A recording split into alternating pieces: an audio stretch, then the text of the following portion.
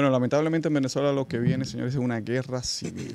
Definitivamente. Una Ya, guerra. una guerra civil. Está ya, mira, las personas que están en las calles protestando están decididas a no salir de las calles hasta que eh, Maduro, y ya muchos lo están diciendo, no es solamente el reconteo de votos, No es que se vaya del es poder. que se vaya del poder. Y ya el chavismo ha anunciado que ha convocado a su gente a una marcha. Entonces lo que vamos a ver ahora es un enfrentamiento de tres partes, porque hasta ahora lo que se están dando es enfrentamientos entre la Guardia Nacional y las personas que están marchando, pero ahora que se suman estas personas que van a marchar a favor del chavismo, pues imagínense el caos que se va a formar allí. Otra de las cosas que están pasando actualmente en las calles, no de Caracas, sino en las calles de todos los estados de Venezuela, que eso es importante resaltar porque anteriormente estábamos acostumbrados a ver las calles de Caracas y las grandes avenidas de Caracas con un perfil de personas protestando que no es el perfil de personas que estamos viendo aho- ahora. No, no son esa gente que yo decía que llevaba un protector solar para protestar. No, es el barrio que ha bajado. No, no, es el pueblo llano. El barrio que ha bajado a protestar. Sí. Son personas que no tienen nada que perder allí. Son esas personas que una vez bajaron de los barrios a exigir que le devuelvan a su presidente Hugo Chávez, paradójicamente. Son esos. Que la guardia aquella vez no pudo resistir y tuvo que bajar las armas y ceder ante la voluntad popular. Contra esa gente no van a poder, porque son gente probada ya, en, en batalla. Entonces lo que es- estamos avisorando aquí, lamentablemente, es una guerra civil. Y hay un asunto que hay que denunciar, y me han llegado videos, bueno, lástima que no lo podemos poner aquí, pero me han llegado videos de, vemos una actitud de la Guardia Nacional eh, tolerante ante estas manifestaciones. Ustedes lo han visto, corren, eh, se Hay- Hay resguardan. una imagen que se hizo viral, discúlpame Maracayo, de una, de una oficial, una joven, una, una eh, como recordeta, eh, llorando. Llorando. Y eso. Y esa Sí, por estoy describiéndola, ¿no? Llorando, llorando ante, o sea, la gente diciéndole, tú sabes, como que tú sabes. Eh, y la verdad que esa imagen es muy, muy conmovedora. Hemos visto esas, esas imágenes, pero ¿qué pasa? Ahora están utilizando, como la Guardia está un poco reacia a reaccionar de la forma en que quieren que reaccione el gobierno contra los manifestantes, entonces el chavismo lo que ha lanzado a las calles son los colectivos. ¿Qué son los Los colectivos? colectivos son civiles que una vez se le ocurrió al chavismo la grandiosa idea de armarlos. Civiles lo armaron y le metieron en la cabeza de que estén preparados para cuando haya que defender la patria. Son personas civiles armadas. Adeptas al mantenido, le dan chavismo. su, su- su sueldo. Sí, sí, que lo mantienen en base de, de lo que llamamos aquí una botella y lo mantienen bien de todo. Y ahí vemos entonces imágenes de estos colectivos que son personas vestidas de civil, que se confunden con, con la gente, disparando con pistolas, disparando mansalva a los manifestantes. Y detrás de ellos, la Guardia Nacional escoltándolo. Y eso es lo que está pasando ahora. Pero eh, yo espero, yo to- todavía tengo la esperanza de que se revele la, Guardia Nacional que y que se una al pueblo, que es lo único que puede ahora frenar este, este, este, baño de sangre que se avisora en las calles de, de- Caracas. Punto, ¿por qué la Guardia ha, mantenido hasta tantas horas reprimiendo a la gente? En Venezuela, el chavismo se ocupó muy bien de mantener esa clase militar con todos los power. Los altos generales tienen ministerios a su, a su mando. Ministerios. Recuerden que allá los militares votan y todo eso.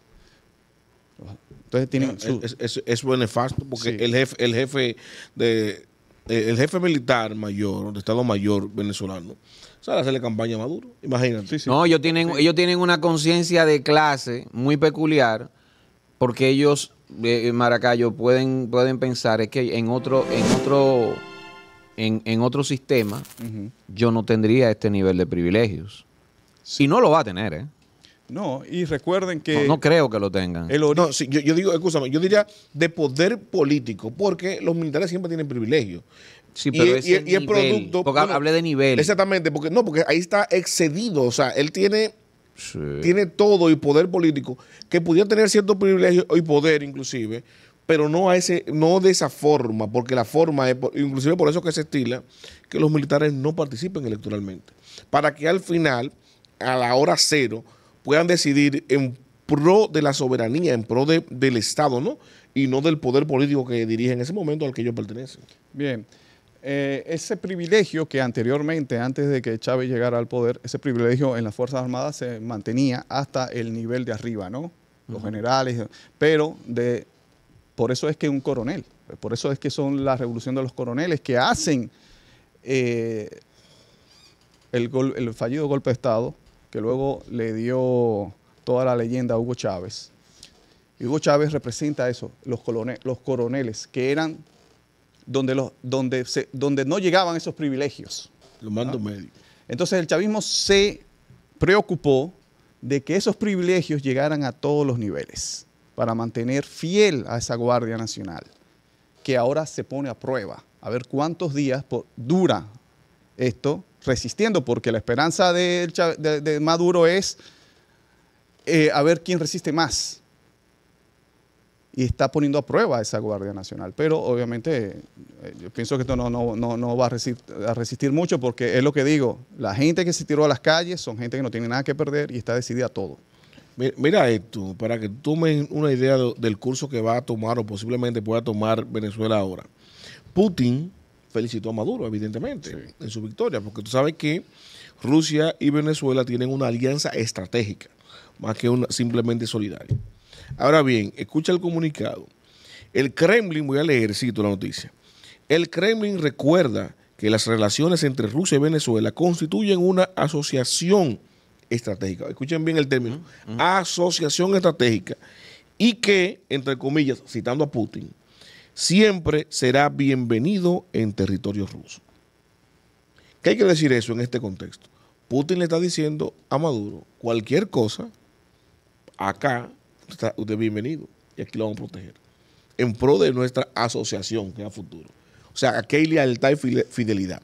Pero el hecho de que Putin reconozca públicamente en un enunciado de felicitaciones a Maduro en el marco de lo que está pasando en Venezuela y le re- resalte, mira, aquí tú vas a ser bienvenido, te conviene más. Le está quizá trazando a Maduro la vía más expedita a lo que Putin visualiza que va a ser el futuro inmediato de Venezuela. Eso es una lectura, una lectura interesante. Sí, ¿por qué? Porque el- el- el gran dilema que se está viendo aquí es, bueno, si Maduro, por ejemplo, decide irse de Venezuela a raíz de los, de, de los acontecimientos que están pasando, ¿para dónde va a ir? ¿Para Cuba? ¿O para... O para o, o- estamos hablando de si. Cuba o, o si Nicaragua, correcto. ¿Para dónde iría Maduro? Y esa gran indecisión, porque está muy cerca, está muy compromisario. Fíjate cómo Putin ahora le pone una alternativa más interesante para Maduro. Mira, para acá, Rusia. Que puede venir tú, toda tu gente, con todo tu power, con todos tus recursos. Y aquí si hay una, una certeza de permanencia, o sea, de impunidad en- a futuro, en los próximos 10, 15, 20 años. Porque eh, a Ortega y Nicaragua no necesariamente le queden más de 6 años, ¿tú me entiendes? Eh, y, y a Cuba, en esa situación, quizás no le quede tampoco más de 6 8 años. Entonces, es interesante ver cómo Putin deja entrever que posiblemente Maduro tenga que salir del poder porque la revuelta que se está viendo en Venezuela indefectiblemente se encamina, como dice Maracayo, a una guerra civil. ¿Cuál es el gran problema que yo veo? El gran tema que yo veo aquí. Y la gran diferencia, porque mucha gente eh, no se ha parado a analizar. Mira, siempre en Venezuela, en los últimos años, se han dado situaciones en contra del régimen, se han dado este tipo de manifestaciones. Siempre ha visto manifestaciones de la ciudadanía, revueltas, expresiones militares que se van, que se movilizan, y el régimen ha permanecido. ¿Qué va a ser distinto ahora para que eso cambie? Que yo no lo veo. Yo no lo veo porque eh, Maracayo, y eh, sería bueno, y, y Edwin, ustedes den su parecer a esto, lo que voy a plantear es lo siguiente. Yo no veo la, diferencia porque ha pasado en otras ocasiones y el régimen ha permanecido. Inclusive para mí, en situaciones donde el régimen ha sido más débil, más débil que ahora, ha permanecido. Ha permanecido. Si ahora bien es cierto que se ve menos apoyo popular o quizá el apoyo, la estrategia de la oposición se vio más fuerte hacia afuera, el régimen en otras ocasiones ha estado más débil y se ha mantenido, a diferencia de ahora. Y yo lo que veo ahora es que esto se ha dado en el marco de una especie de acuerdo que había entre Venezuela y, por ejemplo, Estados Unidos, que lo, lo debatimos aquí, que le flexibilizaron lo- los bloque- el bloqueo y tal, Sí. y se estila que los gobiernos, y entonces, y recuerda aquí que parte del reconocimiento que hiciera Estados Unidos a Venezuela con relación a estos especies de acuerdo, eh, lo que buscaba era que por lo menos se llevara a elecciones, lo que llevó Maduro a elecciones, que es lo que lo diferencia básicamente de una dictadura. Pero al Maduro darle un giro a eso, secuestrando las elecciones, declarándose ganador sin el conteo total, sin transparencia y tal, deja a ciegas aquello con lo que él estaba negociando, sembrando una incertidumbre eh, en, la, en la comunidad internacional, en la política internacional, que tú no sabes cómo van a accionar, tú no, o sea, tú no, no hay lectura si Estados Unidos va a volver a ponerle bloqueo a Venezuela, radical, creo que no lo hará, porque al final es más eh, pragmático En, en el caso de que Maduro se quede. Sí, correcto. que Estados Unidos no va a volver a bloquearlo radicalmente. Entonces, es el gran, es el gran problema y a eso está, está, está apostando la, la dictadura. Fíjate cómo el bloqueo fue más fle- flexibilizado. Si Maduro se queda a la mala, yo no creo que Estados Unidos vuelva y lo bloquee al 100%. Y eso está apostando. Entonces, esa incertidumbre, porque lo que se estaba buscando era que Maduro se quede o salga. Yo estaba buscando que saliera con unas elecciones abiertas. Pero Maduro cambió el- la regla del juego y secuestró las elecciones. Pero si se queda al final, eso va a asegurar que se varíe en la política internacional. Y eso lo sabe Maduro, lo saben los militares, lo sabe Estados Unidos. Entonces, eso podría dar pie a que esta, en esta ocasión la misma revuelta de la misma gente tirada a la calle, algunos muertos, los colectivos y los militares, no sea suficiente para que Maduro salga del poder. Tú sabes que la situación eh, siempre hay que verla también desde el punto de vista geopolítico y duele. Yo lo repito, duele porque Venezuela y República Dominicana tenemos una historia juntos de, de- de mucho tiempo, ¿no? De mucho cariño, de mucho trato. Y, Queremos mucho. y a uno, y uno, Maracayo es mi hermano y, y- y tiene familia en Venezuela, es venezolano, dominicano. Uno, o sea, lo que le pasa a Venezuela a mí me duele, me duele muchísimo. Y, pero también hay que hablar un poco, señores, de- desde lo geopolítico. Y ayer lo decía, y, uno tiene que, contarlo, señores. El problema, el problema para que Maduro salga del poder es que tiene lo que decía Mario, la lectura que le dio de Putin, y, ya, y yo eso ya lo he escuchado en otras ocasiones, de que, mira, eres bienvenido aquí en caso de que tengas que irte del poder. Yo no solamente lo, eh, lo- lo leo de esa manera, yo creo que también está el tema de una incorporación a Venezuela, pero con Maduro, al BRICS que son ese bloque de naciones emergentes, ¿no? Digamos, la, la respuesta ante la ONU, la respuesta ante la Unión Europea, que tienen los países encabezados por Brasil, Rusia, India, China, Sudáfrica, que había incorporado a Argentina, pero Argentina se salió de ello. Y que recientemente eh, también creo que solicitó, la, o sea, entró a la, a la incorporación Irán, si mal no recuerdo, y otros países. Entonces, eh, hay, que, hay que ver eso, porque Maduro también tiene eso, tiene eso en mente, ¿no? Sabe que tiene un apoyo tácito, táctico, de China y de Rusia, que son las naciones, las superpotencias que lideran ese otro bloque. Señores, estamos en un escenario de, de guerra fría, de una nueva guerra fría. Y no por fría nos vamos, ¿verdad? Los conflictos no se dan, al contrario, se multiplican los conflictos. Venezuela parece ser el primer escenario de Latinoamérica de una guerra fría. Y eso es muy lamentable. Eso es muy lamentable y muy preocupante. Y yo no veo, no veo al corto plazo una, una salida exitosa del chavismo en Venezuela. Yo, yo no la veo. Además, Estados Unidos no es el mismo. Sigue siendo un gran imperio, ¿eh? sigue siendo la potencia que tiene incluso el monopolio efectivísimo. Bueno, el monopolio no lo tiene total, pero digamos que ya todavía tiene el dominio del tema comunicacional y de la propaganda, que es muy importante. Pero a nivel de armas, los, misiles hipersónicos, por ejemplo, que fue lo que tiró Irán recientemente en, Israel, rompiendo su famoso escudo defensivo, eso no lo puede fabricar todavía Estados Unidos, no, no, no lo tiene. Y ya China y Rusia los tienen. Y le pasaron la tecnología a Irán, que sí los tiene. O sea, Estados Unidos ahora mismo, haciendo una operación directa en Venezuela, estaría dejando descubierta su retaguardia, de alguna manera, frente a naciones como China y Rusia. Es un problema, es un problema serio en este tablero. Venezuela importa por sus recursos, por sus recursos inmensos, por su petróleo, por otros recursos naturales que tiene, que son importantísimos también. Y no creo que China y Rusia vayan a soltar a Maduro, y menos en, esta, en, estas circunstancias. Y yo creo, Maracayo, que el alto mando militar eh, del gobierno venezolano lo tiene claro eso, me parece. Bueno, yo no, yo no creo realmente que no veo un futuro de, Maduro allí. No, no, no, lo veo. Y la única forma de que Rusia pueda mantener eso es que, imagínense, o sea, tomar la, decisión de qué? De enviar tropas a, ayudar a la Guardia Nacional de Venezuela. Eso no, eso no va a pasar. No, armas, armas que siempre ha mandado. Bueno, eh, lo, que, lo que yo veo, lo que veo ahora mismo es una guerra civil. Una guerra civil de un bando que se declare eh, que tienen el, control de Venezuela, el bando de la oposición, y que el oficialismo también se declare que tiene eh, la presidencia.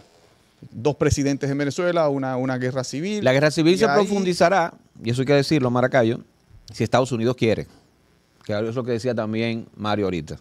Si Estados Unidos quiere, porque si Estados Unidos mantiene, se mantiene como está hasta el momento, se queda Maduro ahí. Sí, e, eso, eso, es, lo, eso, eso es lo que... Porque, y, y, escúchame, Mario, está la guerra Rusia-Ucrania, el petróleo necesitan petróleo, y ese petróleo y esos recursos lo garantiza Venezuela más barato, más barato lo garantiza Venezuela. por, ahí viene, yo, yo digo que el, eh, Estados Unidos tiene una posición aquí por primera vez en lo que en el tema de Venezuela.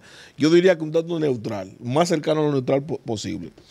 Por primera vez, lo, así como yo lo veo. Quizá Trump hubiera hecho la vaina diferente. Dice, ok, ya, pra, se va. pero Trump, a mí se Trump puso un presidente a Guaidó. Exacto, Trump, puso a Guaidó, exactamente. o sea, Guaidó, o sea, Trump en este momento ya se hubiese acabado. Ya se hubiera acabado el, problema. Lo hubiera, resuelto. Lo hubiera resuelto. habría intervenido ya militar ya, o no hay que mandar militar. vamos, vamos, no vamos a. Los demócratas tienen una forma diferente de actuar y siempre han, han sido más efectivos, efectivos que los republicanos. Aparentemente, lo que más le conviene a los demócratas es que Venezuela se mantenga en ese caos. Parece que tiene. Y ese caos lo garantiza Maduro. Exacto. Y ese caos parece que lo garantiza Maduro, obviamente. Porque eh, tenían todo las, todas las condiciones como para ya los demócratas dar el apoyo definitivo a, la oposición. Y no, y no, no, no, no fue así. No le dieron el puente de amnistía al, oficialismo, especialmente al jefe de las Fuerzas Armadas, no le dieron esa llamada, que se la dieron cuando Trump, no se la dieron ahora, que si... No, pero ahora es, un político chavista. ¿Perdón? Es un político chavista. Sí, no, pero eh, un político chavista que dudó en las pasadas elecciones, dudó tanto que, que eh, Nicolás Maduro se asustó y tuvo que jalarlo pero lo jaló. Tuvo que jalarlo y ponerlo a hablar en público ahí. Pero ya, claudicó. Y no, Ahora sirve menos. Pero oye, y, y la, eh, la información, cuando, cuando se comunicaron con Padrino, López, se llama el ministro de. Defensa de Venezuela, cuando se, los gringos se comunicaron aquella vez con él, él se cayó, él no dijo nada. Él tuvo que hablar, porque esos, al Estados Unidos no recibir respuesta, lo filtraron. Sí. Hubo conversación con él. Compro- comprometiéndolo. Y hubo un lío ahí, eh, Nicolás no estaba seguro de que, "Ey, ¿qué fue lo que pasó? Y pero, lo puso a pero hablar. ¿qué hizo ahora, padrino? Hizo campaña a No, no, Maduro pero es que y fue y siempre- votó, ya voté. No, no, pero él siempre lo ha hecho. Les digo, son funcionarios, siempre lo ha hecho. Eh, pero lo que te digo es que ahora esa llamada no llegó. Y ahora no tenían los votos, realmente. Y Padrino López sabía que no tenían los votos. Y la llamada de los gringos no llegó para decirle, mire señor, le vamos a garantizar todos eh, los millones que usted tiene, que usted cerró, de- vaya a disfrutarlos, retírese con total, con total impunidad. Usted y lo suyo. Sí, esa llamada nunca llegó. Y Padrino López, sabiendo que no tiene los votos y que si esta gente gana, Es que no, no, cumplieron. O sea, es lo que estoy diciendo. La primera vez, ese consenso que se, esa negociación que se hizo para resolver el tema de Venezuela, donde está incluido el propio Maduro, no lo cumplieron. Y, y, y Padrino, que se hizo el, el- el loco, y Maduro, que dio todo que sí, al final, al día de hoy, lo que hicieron fue que voltearon la- el asunto. En ese momento, porque tenían los votos, y ahora sin tenerlos, como quiera lo hicieron no cumplieron el, el acuerdo, no se, no, no, no mostraron receptividad a ese tipo de acuerdo. Siempre lo tomaron el pelo a todo el mundo, hermano, Maduro y compañía. Y ese grupo de, de- de- ahí, de, el jefe de la Fuerza Armada, el, el- el- presidente del, del- del Consejo Nacional Electoral venezolano, todos están a uno con Chávez. ¿Por qué? Porque todos están comprometidos con el tema de, la, de- de desfalco que le han hecho a Venezuela y la corrupción que, que han tenido ahí. Y todo lo que deben, que nada más no son ellos. O sea, estamos hablando de que son ellos la cabeza, pero hay un número importante que se va con ellos. O sea, a menos que tú estés dispuesto a darle amnistía al gobierno entero y sus familias, ha llegado. es así. O sea, coja el gobierno entero. ¿Cuántos son? 300 más los familiares. ¿Cuántos son? 1.500. Bueno, los 1.500 en amnistía. Pero es así. Pero es así. Pero Venezuela, la oposición no está hablando que hay una dictadura en Venezuela. ¿Y qué se hace en una transición? Se le ofrece amnistía a todo eso. ¿Qué hicimos aquí con Trujillo? Sí, no, pero- y que, y que- no, pero, no, no, pero pero espérate, que Marina Machado ha no- cometido el error, ella ha cometido el error, y yo lo resalté eso en un comentario anterior que hice, ha cometido el error que en varias ocasiones que ha sido entrevistada, que la prensa por, por sacar la información, la ha presionado con relación a eso, y ha, de- ha dejado de eh, eh, ver, no, es que él yo no lo quiero muerto, yo lo que quiero es a Maduro que vaya a la justicia, que le enfrente. Claro. ¿Qué, qué es lo que está diciendo? El mismo error que cometió Hipólito aquí, está amenazando Claro. a Maduro que no, lo va a meter preso. no, ¿y qué, ¿y qué pasó? Entonces Maduro no le va a creer Pero a ¿y qué ella. pasó con Pinochet? A Pinochet se le garantizó todo. Todo. Todo. Y te voy a decir una cosa. Aquí hablamos, mira, la, la soga está demasiado tensa por parte del chavismo para decir que es una democracia porque no lo es.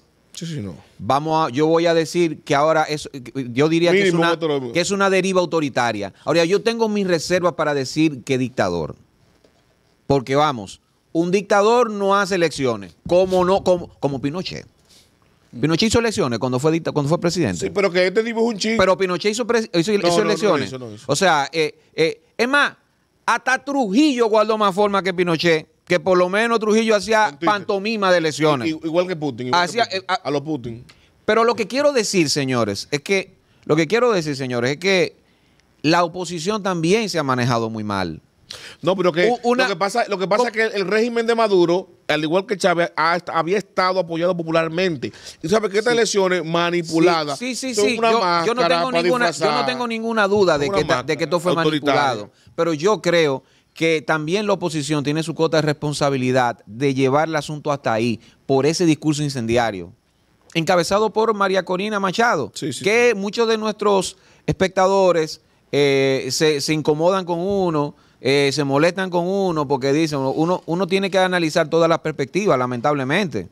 Y, y ella. Sí, porque ella yo, estoy con ellos ahí, porque ella- el tema es que uh, sí, atacar sí, a, a- a- a. Machado no es a ella, Sí, pero- sino sí. a, a- a la, No, a la salida no, de Maduro. No, pero, no, pero, no, pero, no, pero ya estamos en el día de. Ya uno tiene que hablar. No, después que Maduro Yo el salga. domingo no Después que Maduro salga, le entramos No, a, no, no, ahora no, no, no, porque, porque, no, porque, no, porque uno, está- yo estoy acostumbrado. la causa yo- ya yo, ya uno está acostumbrado y sobre todo en democracia a ver que hay uno bueno y uno malo. Y ese que entra muchas veces se porta hasta peor que el que estaba, ¿eh? Una película de No, entonces, Esa- esa entonces, pelli- la esa realidad es película que- yo la la realidad conozco. es que hay uno malo y uno menos malo. Se ve hay uno malo no. y uno menos malo. Hay Entonces uno- siempre hay que apostar por lo menos a lo hay menos uno malo, a que lo menos hay, malo. hay un hay uno del que de que se debería salir. Ya, tú- hay uno del que se debería salir. Eso No, es lo que yo debe, estoy se diciendo. debe. De Maduro del que que, se de debería salir. Pero señores, ¿A la buena la la verdad, mala? la verdad que el ejercicio del poder no distingue sistema ningún sistema político, incluyendo la democracia. Yo creo, señores, que hay que ir revisando esa, digo, solo yo pienso, ustedes no están de acuerdo. Yo creo que la democracia hay que irla revisando porque no está funcionando, ¿eh? No está funcionando en ninguna parte del mundo. Como que no es la que más funciona. No está funcionando en ninguna parte del mundo. Es la que más tiempo Es más, en el país que es, que es la mata de la democracia, entre comillas, está al borde de una guerra civil y no lo quieren admitir. ¿Cuál es? Pero Estados Unidos está al borde de una guerra civil. Está al borde de una guerra, Guerra civil. civil. Bueno, la de- Y lo van a ver en estas elecciones que vienen. Van a ver estas elecciones, ustedes lo van a ver. el, el país que representa la democracia, que tiene una dictadura de dos partidos. Pero claro, claro, ya ¿Cómo vamos, vamos a dejarnos de cosas. Hay, como que hay varios partidos, lo que pasa es que son mayoritarios. Vamos a dejarnos de Cuando- cosas. Cuando Trujillo habían varios partidos. Óyeme, óyeme, óyeme. No, no, no. no Óyeme, Eso participan. Cuando la democracia. No, pero funciona. Le funcionó a Estados Unidos esa dictadura de dos partidos. En Rusia ha funcionado Pero la que dictadura tú de, dices- de tú dices un dictadura, eufemismo, es un tú- tú eufemismo. dices dictadura porque es una imposición democrática mayoritaria. Que eso, eso se llama centralismo democrático, Ah, eso es democracia, Mayoría, hermano. mayoría. La Lo mayoría que- fue que tú- puso a tú Chávez ahí. sabes- tú No, sabes es lo que es- Dictadura hay en China. ¿Tú sabes lo que, se, lo que ha existido? Lo que hay. dictadura. No, es un fundamentalismo democrático. Eso es lo que hay. Y no es verdad que el fundamentalismo democrático es lo mejor. Y es tan ¿Qué es lo solo uno La de los sistemas de gobierno. Esa La dictadura china es mejor. más profunda. Así que La dictadura, la dictadura china mejor. esa discusión más profunda no se dispersen, estamos en Venezuela. Señores, Sí. que Venezuela, el fiscal general anoche dio una rueda de prensa, increíblemente. Dios mío. Tarek, ¿cómo es? Tarek Saab. Tarek, eh, Tarek William Sabah. Tarek William Saab. eh, dio una rueda de prensa diciendo que el Consejo Electoral de allá, se llama CNE, pues fue víctima de un, un intento de hackeo y que por eso tardaron tanto Ah, en sí, sí, sí. dar los sí. resultados. Coño, está pasado. Y que identificaron Eh. eh, la procedencia de ese hackeo y que lo ubicaron en Macedonia del Norte. El diablo líquido. Se fueron en Macedonia del Norte, se fueron. El hackeo. Sí. Y que, eh, bueno, lo, lo pudieron parar a tiempo, qué sé yo. Si eso hubiese sido verdad, lo más conveniente era, en el momento de que se estaban dando estas acciones, lo- hubiesen dado una rueda de prensa, ¿verdad? No, porque los pasillos tienen el de ellos. Ujú. Decir eso era, era parar el de ellos. O sea, ellos tenían su lío, su, su vaya se encuentra y estaban que hackeándolo eso. Bueno, si decimos esto ahora, se paran las dos. Mejor pararlo y nosotros hacer de nosotros. Pero le voy a decir una cosa, miren, eh, el si- el- la, la dinámica de votación en Venezuela, el sistema de votación de Venezuela es uno de los sistemas más confiables que hay. Claro, yo recuerdo que en el 2012 eh, el centro Carter, bueno, y creo que fue el mismo Jimmy Carter, que estaba allá observador en Venezuela, dijo que el sistema más confiable del mundo de votación es el de Venezuela. Es con, es con huella eh, dactilar, todo eso, eh, una serie de comprobación, es mixto, conteo manual y el conteo electrónico, o sea, es un No, y, sistema se, completo. y- y se audita, se audita pre y post elecciones. Sí, Que el que sean la auditoría sean transparentes otra cosa, pero se audita. sí, entonces eh, eso por ese lado, pero la verdad es que yo decía, señores, miren, Mario dice que no, que no, no debemos hablar de eso porque sería como hacer el juego al chavismo. No, Nosotros estamos analizando aquí. Ya los venezolanos tomaron la decisión de salir de Maduro y Claro, eh, en las sé. calles ya se dieron cuenta que los gringos no le interesa el pueblo venezolano. Mira ahora cómo Nunca. lo, lo- El petróleo mira cómo lo abandonan a su suerte. Que Rusia está apoyando a Maduro por El los intereses, porque es que estamos hablando de que Venezuela tiene 300 mil millones de barriles de petróleo debajo de su suelo, en tiempos donde está escaseando el petróleo. Y sigue siendo, y sigue siendo el combustible preeminente. Claro. Por más eh, venta de, de que, de que los combustibles sostenible y vaina. Entonces ellos están Mentira. viendo que eh, ese es el único interés que tiene la comunidad internacional en Venezuela. Tienen que resolver sus problemas ellos, aho- ellos ahora. Si la intención es, como dicen ustedes, de que, bueno, Estados Unidos la intención es que Maduro se quede ahí y seguir negociando, pues no. El pueblo que lo saque ahí. Sí, el pueblo que lo saque, pero el pueblo, y eso es lo que yo Pero quiero que se ahí quede. Voy, ahí voy. Ah, bueno, Ahí está voy. bien. Tú vas para allá, está bien. Qué bueno tú vas para Se allá. ha vendido la, narrativa de que María Corina Machado Una la libertadora. La, la- la Libertadora. encarnación de Bolívar ahora, versión Mierda pa' ti. La protectora del pueblo venezolano.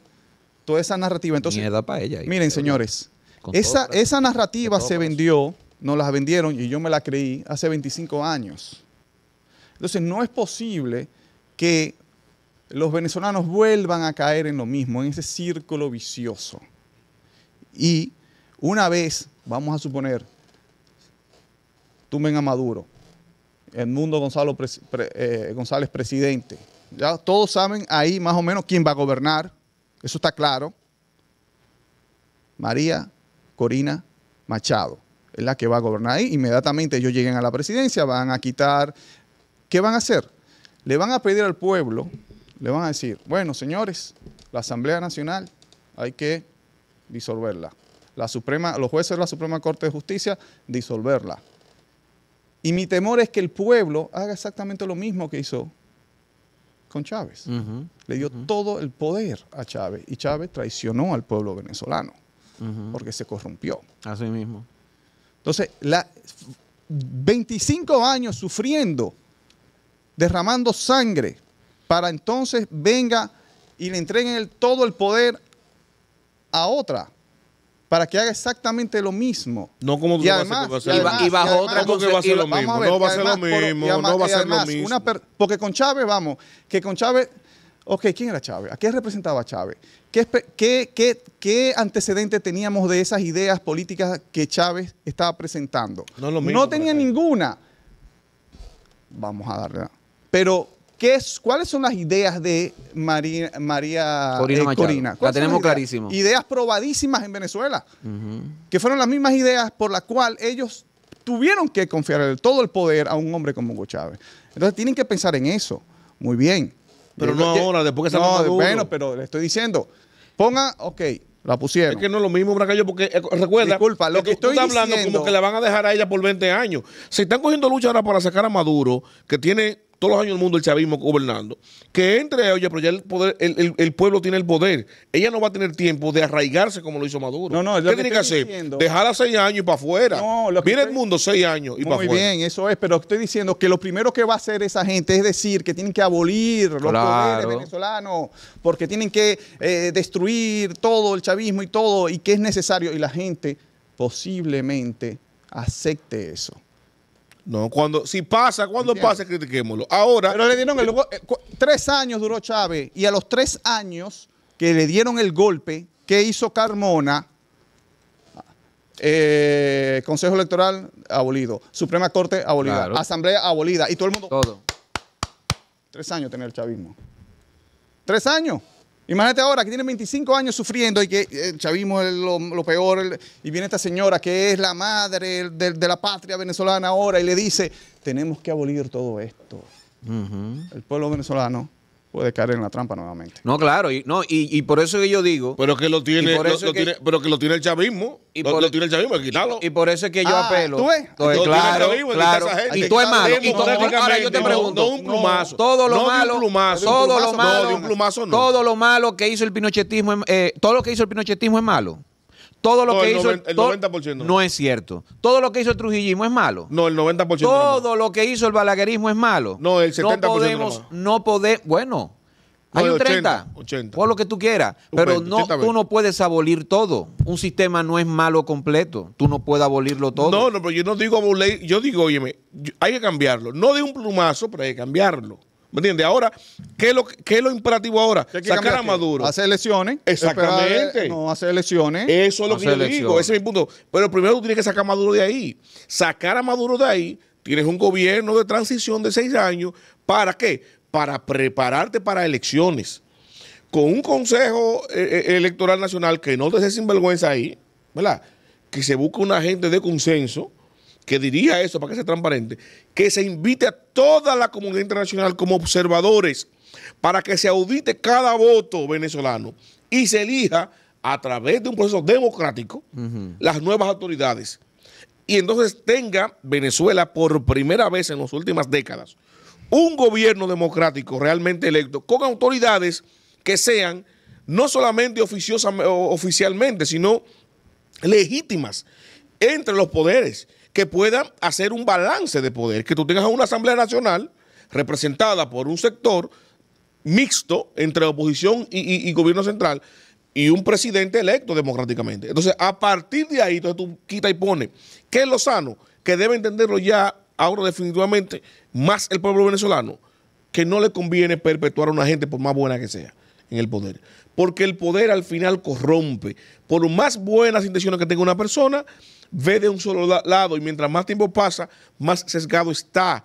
Porque obligatoriamente nadie es como un billete de- de 100 dólares que le va, a gustar- le va a gustar a todo el mundo. Las decisiones que tú tomas como mandatario favorecen a unos y perjudican a otros. Yo ¿Verdad? pienso, yo pienso que si Edmundo González hace su trabajo como presidente y no es un títere de María Corina Machado y entiende el olfato popular, ya está ganando Venezuela.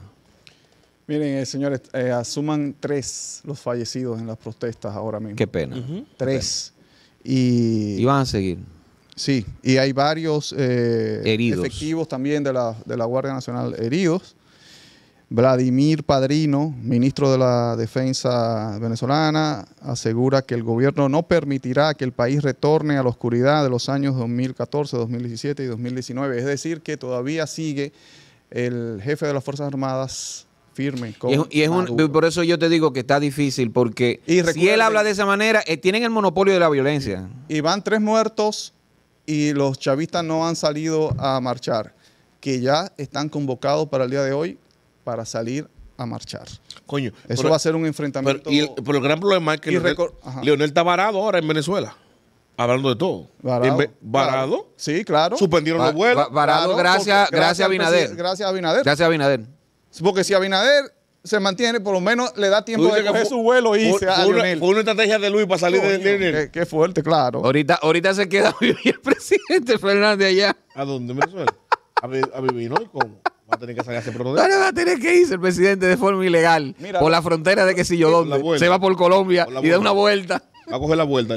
Mira, la tú vuelta. sabes que el, el perfil eh, de Edmundo González, que es un perfil diplomático, hay que decir que Edmundo González trabajó en los gobiernos de Calde en el gobierno de Caldera, en el último gobierno de Caldera, como diplomático, Rafael Calderas. pero anterior había trabajado, creo que en el gobierno de Carlos Andrés Pérez, y una vez Chávez llegó al poder, lo ratificó como embajador de Argentina. Lo dejó trabajando ahí. Es decir, eh, es un hombre que ha trabajado en, en- en los- en todos los partidos. En AD, COPEI y, y ahora en el partido de Chávez. Y él ya en, la- en los años 2010, 2012, es que ya se pasa a la oposición, pero siempre manteniendo un discurso Moderado. moderado.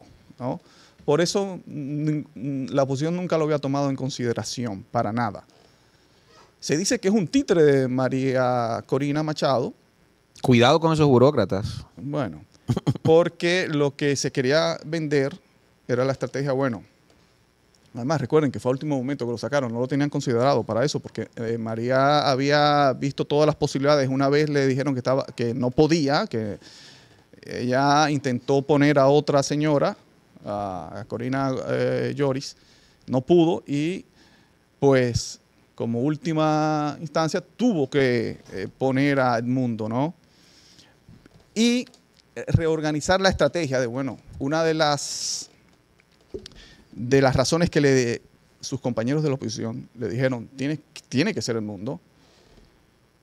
Y una de las razones bueno, es que la estrategia es eso, el, el- el discurso radical tuyo, María Corina, que, que prende, que, que se necesita en este tiempo, y el discurso de la, de la transición pacífica que lleva Edmundo, esperando que los gringos se apoyaran y dieran las llamadas que tenían que llamar a los funcionarios y presentarle, mira, Edmundo es el presidente, es un hombre que lo conoce a ustedes, es un diplomático que está dispuesto a ser garante de lo que nosotros le vamos a garantizar, de que retírense en amnistía. Pero eso, eso no llegó nunca, re- repito, extrañamente no llegó nunca de los gringos.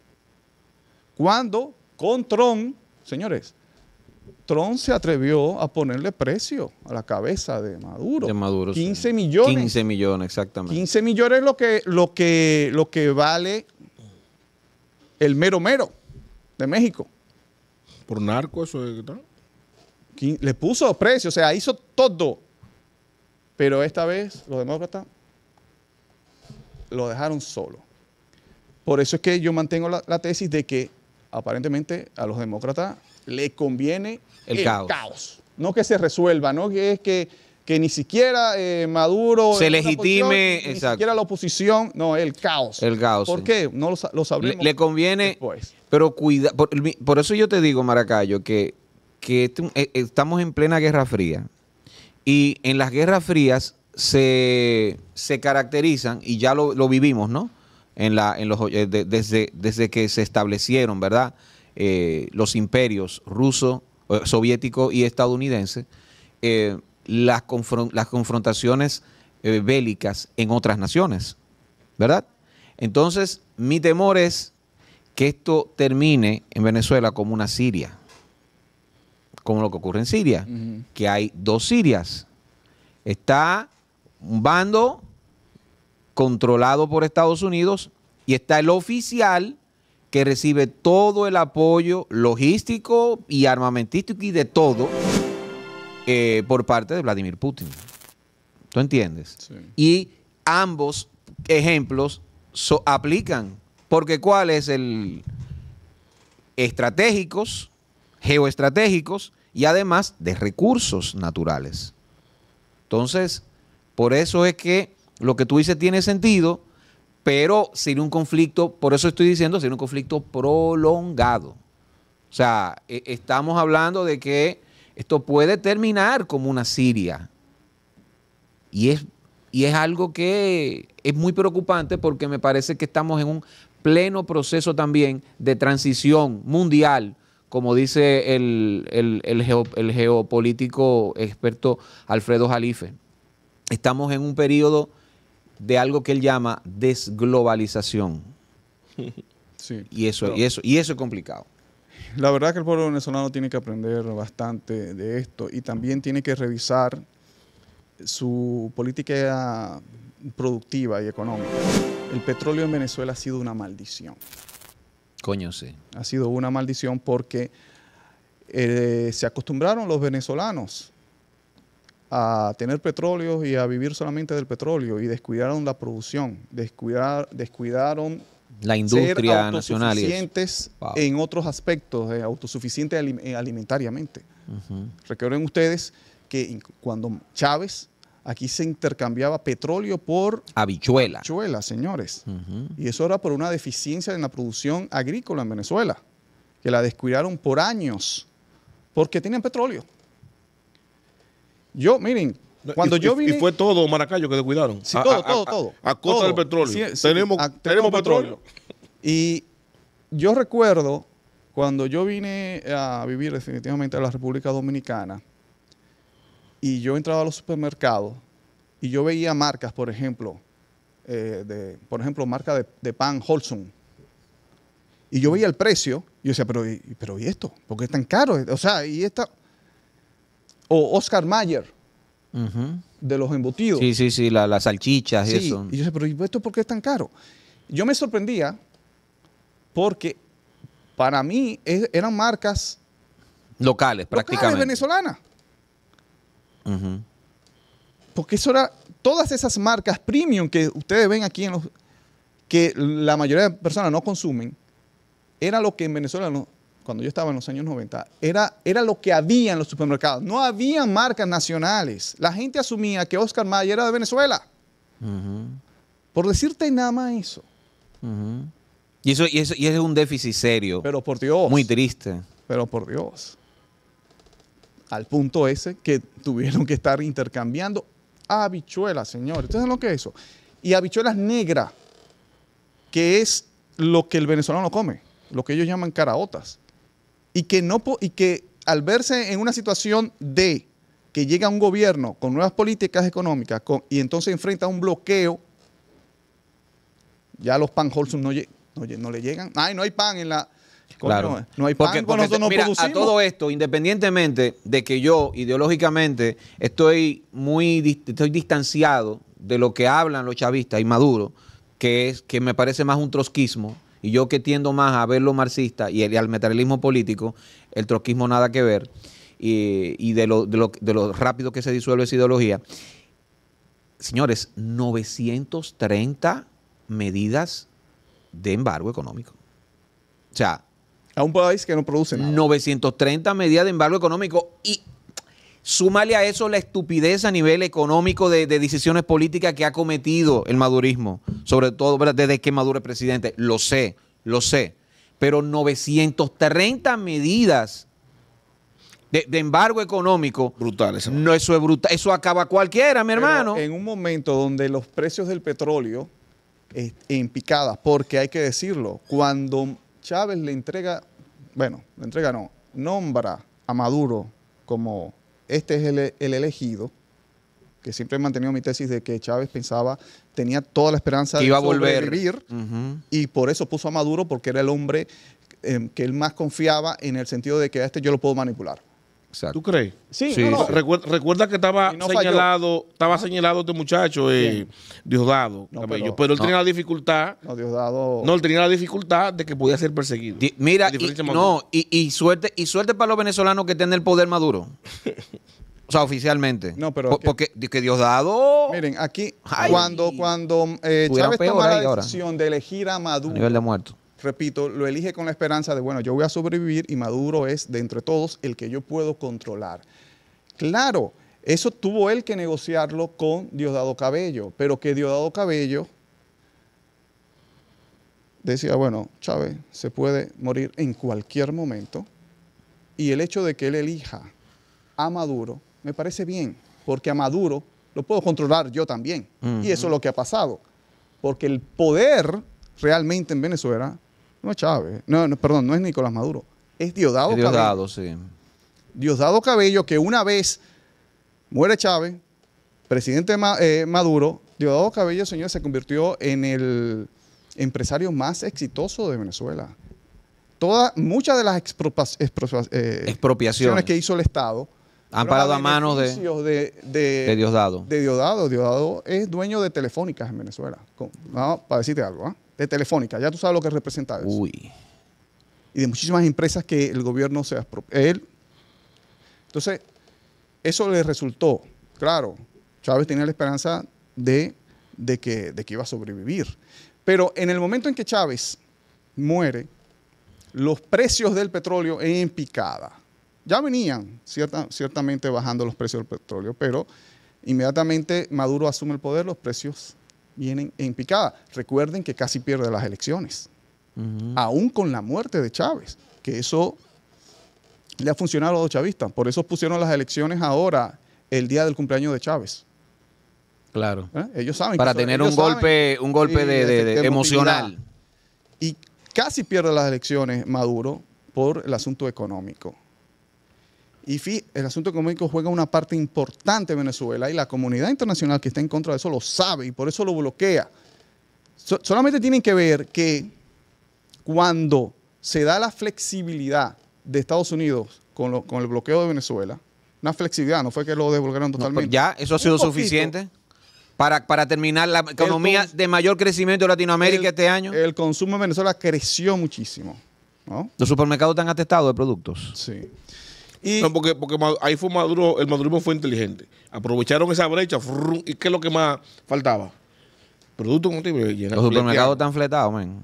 fleteado. Y hay que decir que cuando, imagínate, los niveles de producción de petróleo en Venezuela, cuando Chávez, que rondaban los 3 millones y pico de barriles diarios de petróleo, que es mucho, Mucho. Con, un, con un precio del petróleo altísimo, eso le dio la oportunidad a Chávez de tener mucho dinero, le dio la oportunidad de hacer los acuerdos de Petrocaribe, que le, le ganó el apoyo diplomático de, de- de- de gran parte de la región.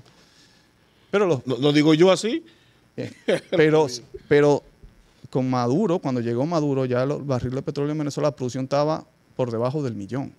Sí, sí, muy, muy- Y no, y no ha remontado todavía ni siquiera el millón. No, no, no, no, no, no, no. eh, eh, yo lo, no sé, no recuerdo cuánto, pero eh, es una cosa, pero muy distante del millón, pero muy distante. Sí, sí, han, han llegado hasta, hasta O sea, en el repunte- mil barriles En, diarios. el- en el repunte, en el repunte algo ridículo, yo creo. Ahora mismo en el repunte de, de- eh, y, lo que yo estoy diciendo son cifras del FMI. Bueno, creo que lo leí en otro corte que hicimos.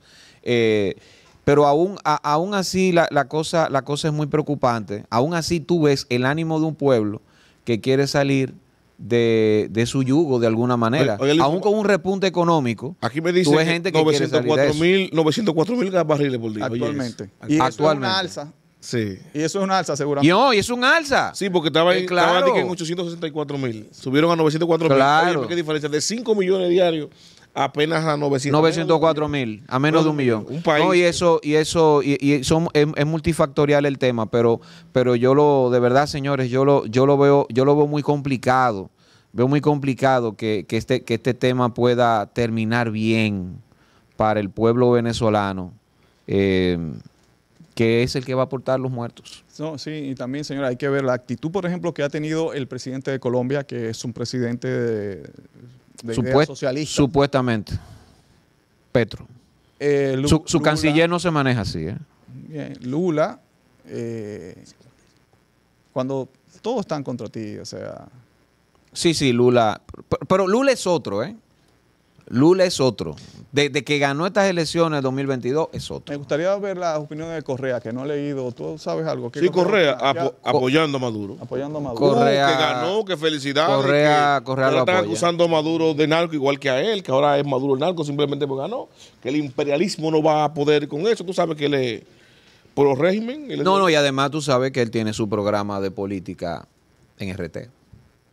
Sí, en Rusia Today. Entonces, Uno sabe, uno sabe, uno sabe claro. Pero ahora, estos tigres se ubican claro. Eso es lo que a mí me gusta, por ejemplo. Correa se ubica claro. que tú, en el eje gusta, que no, está. que tú respetas. Eso a mí me gusta, no, me gusta. Coño. Me gusta. Y además, eh, no, hay, no hay forma de esconder que, por ejemplo, Eduardo eh, Correa, Rafael Correa ha sido el mejor presidente que ha tenido Ecuador por la milla y que Evo Morales ha sido prácticamente el único presidente que ha tenido Bolivia. Y una cosa, señores, 25 años después de la Revolución Bolivariana, paradójicamente, la Revolución Bolivariana afectó a su país de origen, Venezuela, Qué lo destruyó prácticamente, pero, y dijo, paradójicamente, levantó a otros países. Eso Y ahí pónganlo en la lista. Ecuador. Ecuador, señores, con una gran migración de, de sus nacionales en Venezuela. Colombia con otra gran migración de sus na- na- nacionales en Venezuela. Eh, la revolución bolivariana hizo que toda esta Una reconfiguración hizo. volviera a sus países porque sus países se levantaron económicamente y socialmente. Bolivia, súmale Argentina, que estaba en su peor momento, Uy. mucho peor que lo que encontró Milei, recuerden, lo levantó. Y Brasil, Brasil despertó, en esa ola. coño, eh, hay que aprender algo de eso. Claro hay, que sí. Hay, hay cosas que Y tú, funcionan. y tú sabes qué es lo que hay que aprender. Que nosotros como pueblos en Latinoamérica tenemos que hacer lo que nunca, unirnos. Eso es. Unirnos y hacer una suerte, como leí por ahí, de hispanocapitalismo, que está muy bonito eso. Me gusta. La Quinta Pata, Mario Herrera, José Maracayo, Edwin Cruz. Recuerden suscribirse, activar campanita, darle a me gusta para seguir creciendo, además de compartir. Recuerda que estamos en el canal 503 para el Gran Santo Domingo por Win TVO, Siembra TV, canal 503 de 1 a 2 de la tarde, de 8 a 9 de la noche y también nos vemos en un amplio sistema de canales de cable en el Cibao Central.